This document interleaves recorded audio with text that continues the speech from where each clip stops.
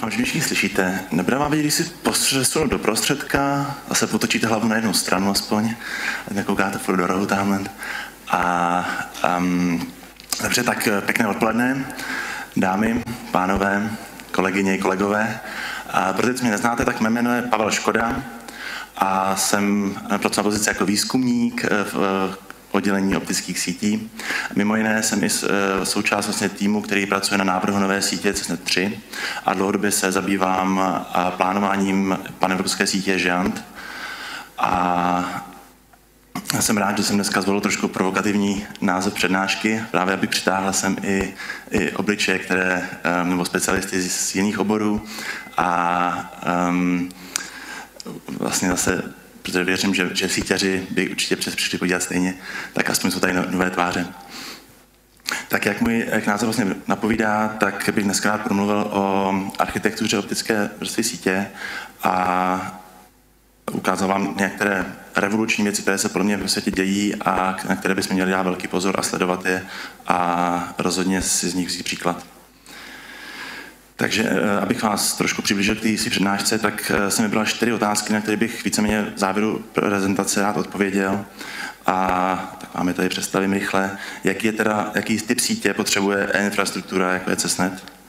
Proč je nová architektura revoluční a co nám přinese? A kdo bude, eh, jestli budeme první, kdo bude takovou architekturu implementovat, o které budu dnes mluvit?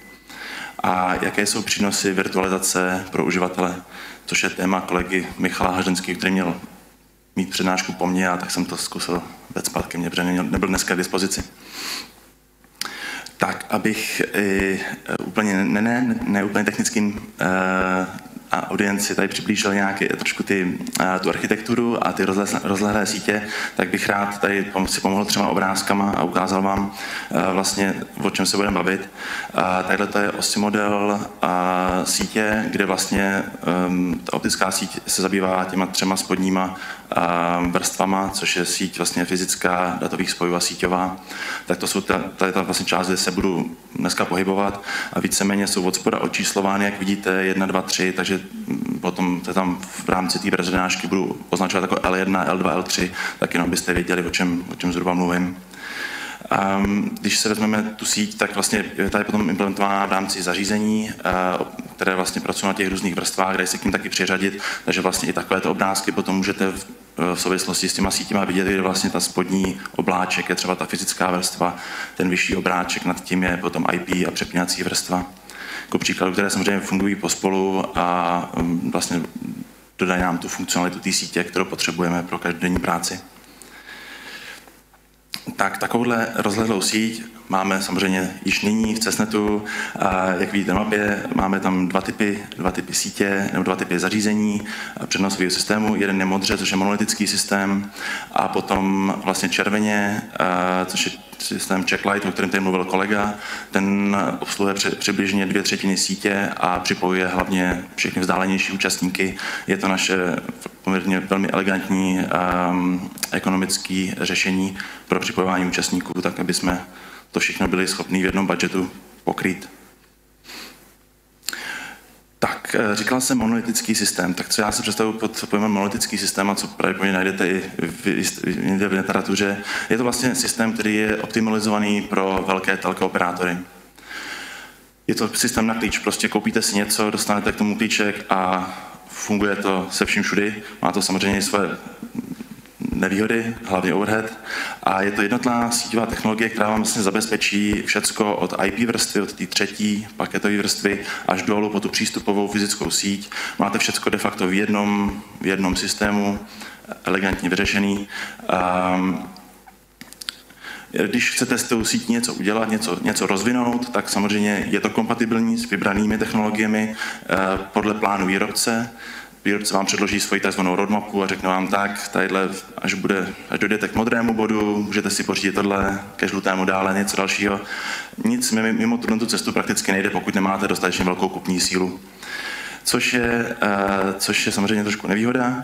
Uh, výhoda, aspoň bych řekl, že pro všechny, všechny eh, operační týmy je produktová podpora. Jak naši eh, britští kolegové rádi říkají one neck to choke, to znamená někoho, koho můžete škrtit, dokud ta síť začne fungovat. což vám minimálně z pohledu osobního nějakou satisfakci určitě vrátí. Nicméně, nicméně si myslím, že tohle to není uh, to, co ty výzkumné sítě potřebují. I když uh, je takhle, respektive, že spousta těch feature tý, uh, toho monolitického systému uh, už vlastně nejsou to, co ta síť potřebuje, ale je to spíš něco, co je zaměřené na ty velké teleoperátory, uh, které vlastně mají spoustu uživatelů, desítky tisíc a víceméně každý, každá kapacita nebo spektrum, který vlastně není zapojený do prodeje jejich ušlej zisk, což je dost rozdílný oproti výzkumným sítím, kteří vlastně nepracují takto takto ostře s tím, s tím spektrem a s těma kapacitama, ale naopak potřebují flexibilitu, potřebují inovace, zavádět nové věci a potřebují také hledat e, ekonomická řešení právě proto, aby mohli připojit vzdálené účastníky a e, za rozumné peníze v rámci že, rozpočtu, který máme. Proto věřím, že architektura sítě, která je hodná spíš pro výzkumné sítě, je, je otevřená síť. Co si myslím pod pojmem otevřená síť? Um, jde především o to, jaký má ta síť rozhraní a tedy jestli se, k ní, jestli se s těma zařízeníma, s těma uh, asi management systémama dá, dá uh, komunikovat přes nějaký standardní, standardní API a jestli ta síť podporuje vlastně cizí signál. To znamená, jestli není uzavřená jenom pro jeden typ uh, vysílačů, transpondérů, který prostě podporuje ten výrobce, ale jestli ten dokáže taky zaimplementovat jiné technologie, nové aplikace, nové signály a tím pádem neblokuje nové technologie. A toto, toto řešení jsme de facto, nebo toto, toto funkcionalitu jsme doposud suplovali vlastně systémem Checklight, který vlastně zajišťuje tadyhle ty, tady tu podporu vlastně právě pro ty uživatele, kteří jsou vzdáleně připojení nebo na vzdálenějších místech a jsou mimo tu, řekněme, ten monolitický systém, který momentálně máme.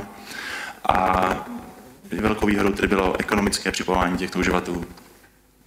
A samozřejmě nasazování nových technologií a aplikací, jako tady pan Číp mluvil o přenosu frekvence, času a tak dále. Super. Tak, eh, výborně. Um, otevřený, vlastně k těm novým technologiím, které, uh, které se dají nasadit do těch otevřených sítí, uh, se vlastně teďka na, no, no, návazně a doplňkově k tomu přichází jaká vlastně k revoluci v datových centrech, kterou bych tady rád zmínil. Už o tom pěkně mluvil Honza Radil.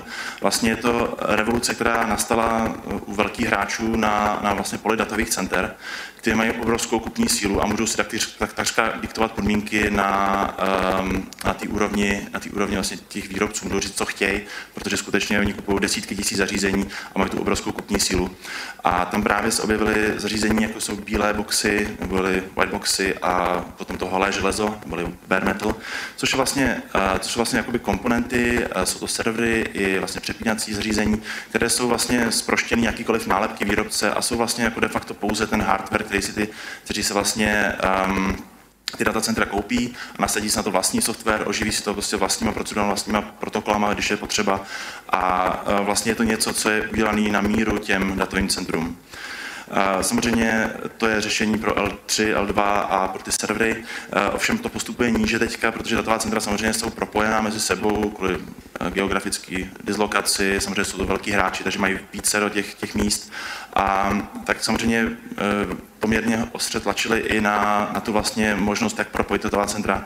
A na základě toho vzniknul vlastně produkt, který se jmenuje Data Center Interconnect, což je vlastně zařízení, který je vložně připravený pro přenos vysoké vysoký kapacity mezi, mezi několika body, mezi dvěma body respektive, ale dá se normálně používat v síti. Nicméně je to tlačený právě těmito, těmito hráči. A e, obrovskou výhodou je, že vlastně to, co původně bylo v 10U reku, tak, tak výrobci, tak, ty, tak ten data center interconnect technologie je vlastně stlačná do, do, do minimálního prostoru, do 1-2 U zařízení. Takže, takže ta kapacita, kterou jste předtím měli skutečně přes celý váš rek, je dneska prostě v velmi malém form faktoru a, a samozřejmě je to kompatibilní potom s těmi vlastně vyndavacími pluggable moduly. Je to velmi elegantní věc. A i, i vlastně tady z toho dokážou těžit ty otevřené sítě z těchto nových technologií. Takže vlastně ten nástup té revoluce, revoluce v té disagregaci a vlastně se nakonec promítá i v té optické vrstvě. Říkal jsem disagregace, tak abych vám ještě ukázal, co si pod tím pojmem myslím, co, co, co, co je to je to, co hýbe teďka tím, tím síťařským světem. Tak ve dvou větách bych to zkusil tadyhle definovat jako logické oddělení jednotlivých bloků přenosového systému při zachování jeho funkčnosti jako celku, tak abychom umožnili vlastně obnovu jednotlivých bloků bez, závislosti, bez závislosti na, těch, na plánech výrobce. Tak tím pádem to vlastně znamená, že můžete kombinovat různé, různé součásti toho celého systému a tím vlastně, eh, tím vlastně zvýšit tu flexibilitu toho systému. A umožňuje to tak vlastně využít nejvhodnější technologie dostupné na trhu v daný okamžik a v, podle vašich potřeb. Což je samozřejmě něco, co je lákavé, je to velmi flexibilní, tu síť to dokáže vlastně vám umožní navrhnout tak, jak si ji potřebujete, a jaký v ten daný okamžik máte šanci využít například.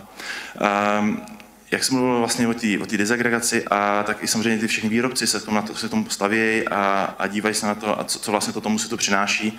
A tady je třeba pěkně vědět, že vlastně A2 tam vidí, jak, že to je skutečně něco, co, co vlastně omezuje tu závislost na těch výrobcích a co vám vlastně dokáže jako pomoci s nějakým přístupem k levnějším technologiím, k dostupnějším, k těm, který vám víc sedí k té vaší síti. Koriant, tam se vidí rychlejší inovace v sítích, právě díky, díky této dezagregaci, díky tomu oddělení těch systémů nebo eh, vlastně přeměnění na bloky, které se dají, které se dají vyměnit. A samozřejmě vyměnit ty bloky v ten čas, kdy ten blok to potřebuje a ten zbytek sítě může fungovat dál.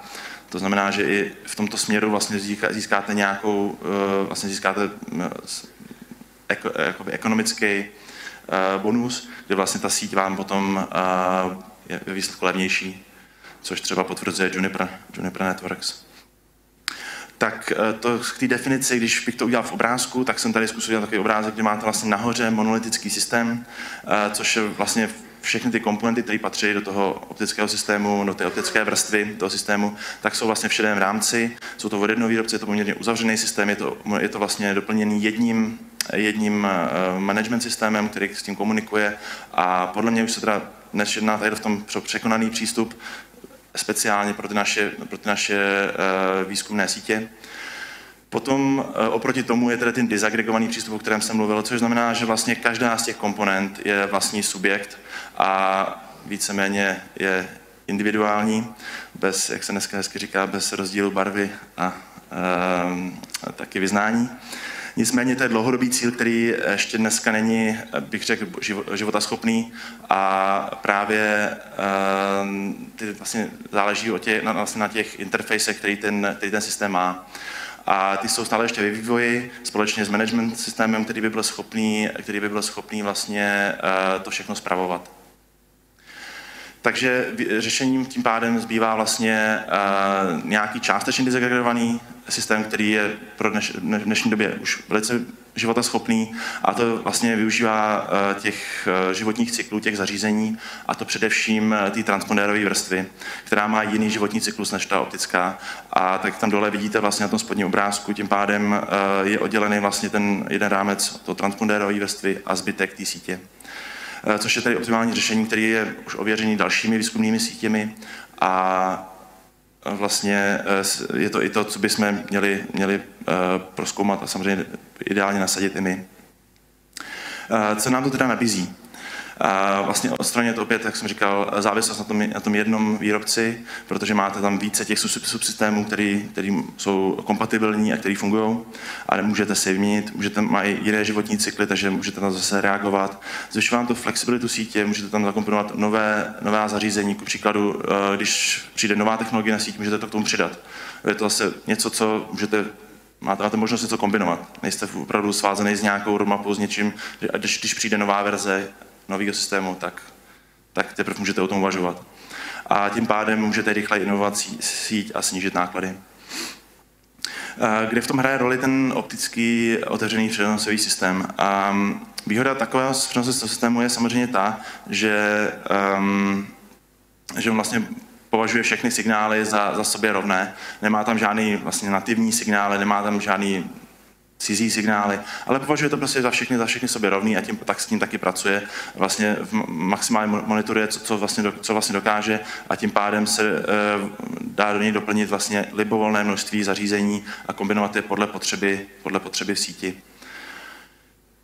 Takže ten je určitě, eh, určitě um, užitečná věc zkombinovat právě s tou dezagregací a co teda takový dezagregovaný systém vlastně vyžaduje a co, jak vlastně by mohl vypadat. Uh, ideálně, uh, ideálně se používají vlastně tři vrstvy, kde vlastně L2, L3 v té přepínací vrstvě, což je oranžová na tom obrázku, potom je transponderová, což je vlastně vysílací vrstva, kde se, kde se používají všechny, všechny vysílače a koherentní modulace, které v té síti fungují dneska. A potom je tam ten otevřený přenosový systém, který vám právě dovolí ty různé uh, přenosové uh, transpodéry používat od různých výrobců, aniž by vás limitoval nějakými licencemi nebo nějakými podmínkami a, a podobně. Co, to, co tadyhle ty disagregaci je důležité si říct, že vlastně je samozřejmě potřeba to manažovat, což je trošičku složitější, než když máte všechno od jednoho výrobce. Dneska dokážete sehnat management systém k tomu otevřenému přenosovému systému, který vám do toho zaintegruje transpondéry, dohodne se dohodne se API, nebo respektive rozhraní, za kterým budou komunikovat a pak se i vlastně ty eh, dodavatelé těch transpondérů přizpůsobí tomu, tomu rozhraní, tak aby veškerá ta funkcionalita té sítě zůstala zachovaná a byla vlastně, eh, byli jsme vlastně schopní eh, i vlastně skrz ten management poskytnout těm vyšším vrstvám. Pak druhý management přijde s přepínačema a routerama, takže to znamená, že takhle tam budete mít minimálně tyhle ty dva management systémy, které, uh, které tam budou sice oddělené, ale na druhou stranu jsou i z hlediska funkcionality dostatečně, dostatečně bych řekl vzdálený. Nicméně buď člověk operační centrum naučí používat dva systémy, což pro mě není žádný zásadní krok, a nebo se pořídí orchestrátor, který vlastně uh, tyto systémy zintegruje, tak aby to bylo ještě jednodušší a ještě, řekněme, uh, plynulejší. Takže podle mě zásadní krok je vlastně přijmout změnu a zkusit udělat krok do té komfortní zóny, kdy člověk byl zvyklý vlastně všechno mít skutečně na klíč a skutečně mít, uh, mít vlastně ten support úplně ve všem. Takhle v tom je to vlastně kombinace dvou systémů, který opět mají ten support, jenom je to o kruček složitější. A samozřejmě buď použít open source orchestrátor, což je něco, co eh, je samozřejmě naší komunitě open source věci velmi, velmi oblíbený a lidi jsou proto ochotní pracovat, dělat na tom a vyvíjet ty věci. A nebo samozřejmě si říct o softwarového integrátora, který eh, který vlastně eh, vám ten orchestrátor dodá veškerou funkcionalitu a samozřejmě se po to i podepíše a přebere za to zodpovědnost. Otázka, dobrá otázka, zdali budeme první, pokud to takhle uděláme. Ne, skutečně tomu bohužel tak nebude.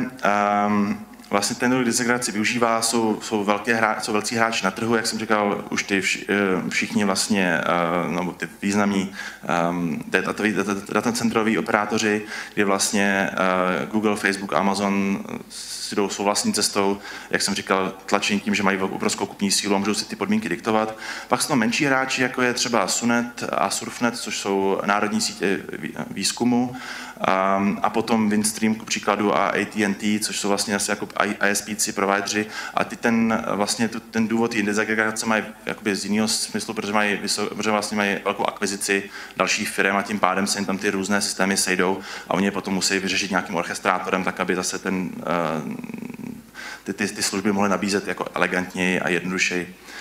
Eh, nicméně, nicméně právě Sunet a Surfnet jsou příklad další dvě na, sítě národního výzkumu, které toto už nasadily a samozřejmě Žant, Evropská síť, eh, to nasazuje taktéž. Eh, ty poslední dvě, Žant a Surfnet, jsem si vybral jako příklad, který bych vám tady ještě ukázal, jak to, jak to plánují, abych vám přiblížil trošku, co, co, co, teda, co teda tam budou mít. Víceméně Žant v síti eh, vlastně nasazuje teďka DCI technologii, což je ta Data Center Interconnector, o které jsem mluvil, a eh, nasazuje to ve všech velkých popech v západní části své, své sítě. A eh, díky tomu kroku vlastně strojnásobí kapacitu té sítě z 500 gigabit za vteřinu na 1500 a, nebo na 1,5 tera a vlastně ušetří 90% nákladů tady tím krokem oproti tomu, kdyby zůstal u monolitického systému a pokračoval v něm, což v relacích žantů jsou, eh, jsou desítky až stovka milionů eur. Takže ten, ten, to ušetření je tam skutečně markantní. Samozřejmě to znamená nějaké nové procedury pro operační centrum, nicméně nic, co by se nedalo překročit. A vlastně plán další je postupná migrace toho monolitického systému na otevřený DVDM systém, na otevřený optický systém a vlastně přesun, eh, přesun těch dat první na, ten, na tu DCI technologii, nebo to, to, to přenos na ten DCI technologii a výměna postupně toho, toho monolitického systému za otevřený. Druhý eh, z příkladů jsem si vybral Surfnet, což je eh, holandská eh, síť, jako národní síť výzkumu a ta poměrně, poměrně odpovědně udělala vlastně výběrové řízení k, vlastně k síti, která musí podporovat cizí signály a speciální aplikace. Dali jsme poměrně hodně podmínek od automatizace, automatické optimalizace kapacity sítě podle aktuálního zatížení, to znamená něco, co nějaké rozhodování v té síti, který už je samo o sobě na tu síť a dynamické sestavování okruhů. A víceméně eh, řešení, které poskládali, je vlastně eh, dokonce ze čtyř různých eh, dodavatelů nebo výrobců. Je to vlastně optická, optická vrstva od ECI, a potom nad tím DCI technologie plus nějakou ECI, tam mají taky tu transpondérovou. A to všechno je zintegrovaný pod ECI, nad tím mají Juniper, Juniper vlastně signal routing vrstvu, to je L2, L3 a celý to mají vlastně pod jedním orchestrátorem od Cisca. Tahle vlastně technologie, nebo tato, to řešení vlastně umožnilo potom nabídnout rozhraní 100 gigabitů pro, pro všechny uživatele, jako minimum takřka, a i ta síť se pišní tím, že dokáže sdílet kapacity jak s uživateli a tak i uživatelé můžou na tu síť vyslat nějaký další signál. To znamená něco, co není doloženě vlastně těch, eh, toho operačního centra v tom surfnetu. Nicméně furt je to vlastně dovolej si to pustit do sítě a mají tu síť navrženou tak, aby to skutečně ta optická síť vlastně pustila a byla schopná všechno monitorovat. To znamená, že skutečně všechny tyhle ty čtyři, čtyři vlastně bloky dokázali integrovat v jeden funkční celek a uh, aniž by, a všechno to pěkně funguje a mají spokojený zákazníky. Co si myslím, že by bylo jako přínos této dezagregace? Procesnet je rozhodně zvyšování kapacity sítě za minimální náklady, protože, jak jsem říkal, ta transponderová eh, vrstva je velmi lukrativní v tom, že eh, ta cena je nízká a my máme dostatečné know-how v Cessnetu, aby jsme to dokázali do, do, do té sítě dostat a samozřejmě zpravovat. A je tam další snížená závislost na velkých výrobcích, protože jak jsem říkal, můžeme kombinovat další komponenty od někoho jiného a tím pádem tlačit i na to výrobce, aby se s náma bavil na, na příjemnější úrovni. A samozřejmě tam je možnost zapojení v otevřené komunitě, kde vlastně jsou ty otevřené nástroje, které dokážou s tou sítí pracovat a my je, dokážeme, my je můžeme i v rámci této právě otevřené sítě nebo dezagregace respektive uh, vyvíjet. To znamená, že ku příkladu bychom tam mohli mít vlastně eh, nějaký otevřený systém, jako je třeba Checklight eh, nebo Lumentum, potom vlastně eh, ty, ty moderní DCI technologie a potom se dá použít i, co se týče simulačních softwarů, něco, co se, vyrábí, co se vyvíjí v rámci, v rámci vlastně otevřené komunity s přispěním většiny výrobců, což je ten typ infra project. Tak, abych to trošku shrnul, tak vlastně co si myslím, že revoluční architektura optické vrstvy je rozhodně založená na otevřeném DVD systému, který nám dovolí eh, tam kombinovat různé signály a různá, různé transpondéry, eh, která ta architektura nám umožní využívat nejnovější DCI technologie, a samozřejmě nám to i posílí know-how našeho, našeho operačního týmu a potom, eh, nebo samozřejmě pokud použijeme integrátora, tak můžeme část, tý, část toho know-how přesunout na to integrátora. Nicméně, co nám, to, co nám to dá, je vlastně podpora nových služeb a kapacitních eh, signálů pro, pro vlastně koncový uživatele. Eh, dokážeme mnohem vyšší kapacitu dotáhnout až, až na to koncový zákazníka za, za, rozumnou, za rozumnou cenu. A eh, je to samozřejmě jistá nezávislost vůči těm výrobcům a flexibilita té sítěvé architektury. A samozřejmě taková sítě potom sleduje vlastně ty špi, na špičkové úrovni a sleduje ty nejnovější trendy. Takže jak, jak, říká, jak říká eh, pěkně Veverich, podívejte se, ono to jde a ono to peče. Eh, škoda, že se sem k nám nedostal eh, teďka Rob Smet, což je architekt Surfnetu, který by nám to určitě potvrdil, protože oni skutečně tu síť nasadili, ale určitě by tam taky ukázal, že to jde a že to peče. Ta, na tomhle místě bych se ještě rád přesunul k té virtualizaci síťových služeb, což je vlastně téma, který tady měl můj kolega, ale i tak bych vám tady chtěl to ve zkratce představit. Co se týče vlastně uh, virtualizace síťových služeb, je um, je fakt, že přes všechny ty, všechny ty vlastně, uh, management systémy, které tam který tam vlastně operační středisko má, tak se dá tato, ta, ta mm, vlastně funkcionality té sítě eh, virtualizovat a dá se k tomu přistupovat zase softwarově, což je vlastně jakoby ta myšlenka té virtualizace a potom nějakého automatického sestavování jak světelných okruhů právě na té nejnižší vrstvě, kdy to spektrum se vezme jako zdroj a potom se na něm ty, eh, ty okruhy dají sestavovat a dají sestavovat i programaticky. Um, a tím pádem také jednodušeji zprovozňovat přípojky pro uživatele. A nebo potom na vyšších vrstvách, kdy vlastně se sestavují datové okruhy nebo nějaké multidomain VPNky a ty se sestavují vlastně přes tu kapacitu, která vlastně ta síť se, se dokáže nabídnout uh, těm orchestrátorům, který se tady tu virtualizovanou kapacitu dokážou potom těm uživatelům distribuovat na základě nějakých formulářů nebo uh, nějakého systému přístupového. A tam se pak ty VPN okruhy dají dělat v, v rámci gigabitů za vteřinu nějaké kapacity. Um, takže taková, takovéhle služby se vlastně dají, dají implementovat, nicméně to chce tak, aby člověk uh, rozumně uh, poskládal ten management software a byl schopný vlastně tu funkcionalitu té sítě, která tady třeba jako příkladu je vlastně na, tý, uh, na tom modrým, na té optické vrstvě plus té transpondérový, uh, tak nějaký management software, který to zintegruje dohromady, tu funkcionalitu opět ukáže té vyšší vrstvě a ta vyšší vrstva na té L2, L3 se opět se to vlastně sjednotí a tu funkcionalitu se vezme a dokáže to ukázat i těm vyšším, vyšším virtualizačním vrstvám což eh, je něco, co, kam bychom se rádi taky dostali, věřím. A tyhle ty služby dokázali nabídnout i uživatelům. Eh, takže potom ve výsledku by to vlastně mohlo být tak, že vlastně veškeré ty vrstvy eh, se, se promítnou do jednoho, do jednoho systému, kde se dají implementovat i vlastně aplikace třetích stran, co jsou ty speciální aplikace, o kterých už tady mluvil pan Číp, ku příkladu, a který vlastně dokážeme potom i s jistou formou automatizace poskytovat. Tak, tím bych se rád vrátil ke konci přednášky a schrnul si eh, těch čtyři otázky, které jsem na začátku zkusil položit.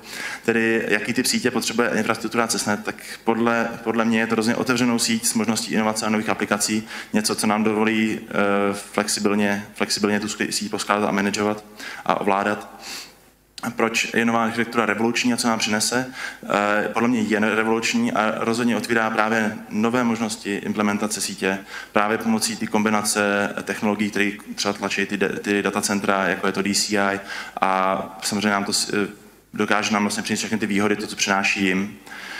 Eh, pokud budeme první, kdo tu, tuto architekturu implementuje, tak to bohužel ne, protože takové už jsou, ale to zase na to dostanu dobře, že každý nebo spousta lidí nerad dělají první krok na zelenou louku.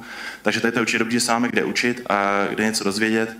A jaké jsou přínosy té virtualizace vlastně pro ty uživatele, tak je samozřejmě eh, dostupné přípojky s vyšší kapacitou a i kapacitní kanály mimo Českou republiku dá se postavit samozřejmě přes ty cizí vlny i někam dál eh, vlastně kanál pro, pro, pro, pro potřeby uživatele a samozřejmě eh, vytváření nějakých datových okruhů na přání, což samozřejmě by ideálně mělo vycházet z přání uživatelů a tak samozřejmě apeluju na všechny z audience, kdo jsou tady z, z řad uživatelů, rozně se nad tím zamyslete, jestli takové, takové, takové potřeby máte a hlavně o sobě dejte vědět.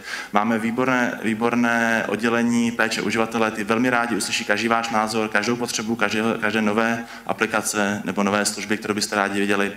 A nebo i kdybyste nevěděli, jak to udělat, tak samozřejmě vám rádi poradí a spojí se s technikama a s náma. A věřím, že uh, my potom budeme schopni to tu síť mm, nastavit tak, aby vám vyhovovala. Já moc děkuji za pozornost a prosím o nějaké dotazy, jestli máte. A už je vidím, tak já si stoupnu tady na stranu. Tak, výborně. Um, tak, jak konkrétně dokáže Žant ušetřit 90% nákladů? Výborně. Tak uh, ano, 90% nákladů se vztahuje uh, v porovnání, když vezmete um, zvýšení kapacity u toho monolitického systému o ten trojnásobek, jak jsem o něm mluvil. A když to zrealizujete toto pomocí DCI technologie, tak skutečně ušetří 90% nákladů za, za, tady ten, za, za tady tu změnu nebo za to, za to navýšení té kapacity, což je kapacita, která jim stačí na další pět až víc let dopředu. Doufám, že jsem to takhle jednoduše odpověděl. Um, kolik stojí začlení nových zařízení uh, pod zprávou orchestrátorů? Uh, to je výborná otázka. Um, Tady to je, to je samozřejmě uh, přesný číslo k tomu dá špatně, je to, je to otázka uh, dohody s těmi operátory, nebo s těmi integrátory a samozřejmě je to něco, co je, co je potřeba, s ním, je potřeba s ním mluvit. Hrozně to záleží o tom, jakou všechnu funkcionalitu člověk chce mít a samozřejmě, jak přesně ví, co chce. Protože samozřejmě, když víme, tak se nám to líp definuje a pak samozřejmě i ta cena je, je tomu, je tomu um, uměrná a je to jasný. Na jakých protokolech jede orchestrační software pro optické kanály SDN? Tak um, vlastně uh, orchestrační, orchestrační software je vlastně um, A, dobře, tak orchestrační software, nebo respektive ty optické kanály se stávaly vlastně stávaly v rámci uh, nějakého management softwaru a ten orchestrátor je většinou jako až nad nima. Ale jestli ta otázka správně rozumím, tak je to spíš toho management softwaru a ten samozřejmě uh, komunikuje s uh, třeba REST API uh, interfejsama, co ty, co ty zařízení mají. Takže třeba přes NetConf, což je jeden uh, z známých protokolů, který, kterým ty zařízení dokážou komunikovat a samozřejmě uh, přes tadyhle ty API se, se, se dá nastavit všechny ty parametry z těch uh, zařízení, o kterých třeba mluvil Ondra Havliš a samozřejmě potom v rámci jednoho toho, toho management softwaru se dá i uh, sestavit kanál příkladu nebo optimalizovat nějaké parametry té trasy. A SDN je samozřejmě další z mm, vlastně jakoby stejných, nebo další z termínů, který zase se stavují podobných, podobným věcem, jenom je to vlastně širší, protože SDN skutečně může sát od těch orchestrátorů až po ty management softwary, všechno se dá označit za SDN, takže to je poměrně jakoby obecné, obecný termín. Každý se to dneska představuje jinak. Tak zkusím další. Otevřená síť je tedy síť, kam se mohou připojit i komerční subjekty, nebo jak to myšleno. Tak, eh, to si, eh, to si, eh, to je myslím, že špatný jako vysvětlení. My myslím, nebo já jsem tady představoval otevřenou síť z hlediska jakoby technického, to znamená, že se dají kombinovat různé technologie. Tam nikdo neříká, jestli je to pro komerční, nebo pro partnery, nebo pro uživatele. To je, politi- to je zase o politice dané organizace a cestnetu. Takže já si myslím, že eh, to není otázka jakoby na mě, ale na naše právní oddělení a na, eh, na náš management. Nicméně eh, je to tam myšleno tak, že se dají technologicky. Jo, je to otevřený po technologické stránce. Jsou ještě nějaké dotazy ve fóru?